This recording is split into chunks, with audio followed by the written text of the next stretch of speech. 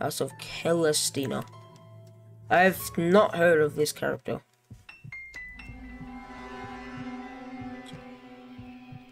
Find out who is Celestina. Oh, well, I didn't get enough time to read that. Oh, wait. Yo, I've seen, I've played this game. Like ages ago. When I was doing YouTube when I was like six. I wasn't that young. Hi, my name is John. John. John.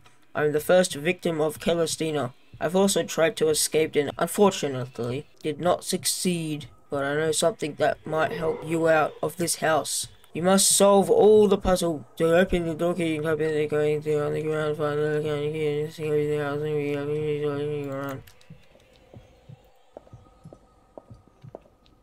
I read that. Yeah, I read that. Is there a way I can freaking run in this game? Q is pause. Guess it has to be because escape freaking exits the thing full screen. What is this? Oh! What the fuck, dude? Oh! oh my god! This game is terrifying! what? I'm not playing that!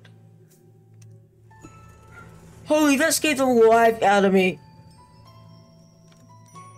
What the heck? Okay, well, if you guys want to see me play the rest of that, there's no way. Right. It's calm down, man.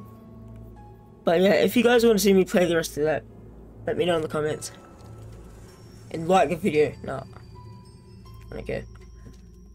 Right. This game is, I was not expecting that bad of a jump scare though. Holy.